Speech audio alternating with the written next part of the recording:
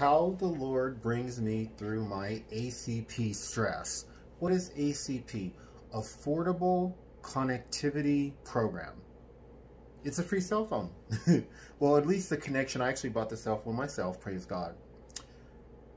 I really get stressed out with anything related to government, paperwork, and all that stuff, and my mind just doesn't work. I'm kind of slow. I'm literate, but I'm kind of slow. When it comes to public housing, welfare, other people had to do the paperwork. I just, to the extent that I tried to do it, they would have to recorrect correct everything that I didn't fill out correctly. And so,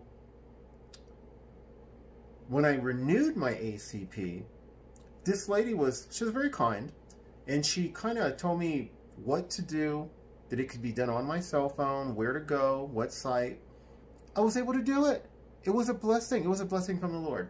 Now, when I first applied for ACP, I was like, I don't, I, I was, you know, it was, it was an earlier stage of being a covert TI, and oh, there's no way I could do it. And at that time, I called them, and the lady was so kind. She, she put me on speaker, and she literally walked me through the whole process of applying and practically did it for me. You know, it was really wonderful.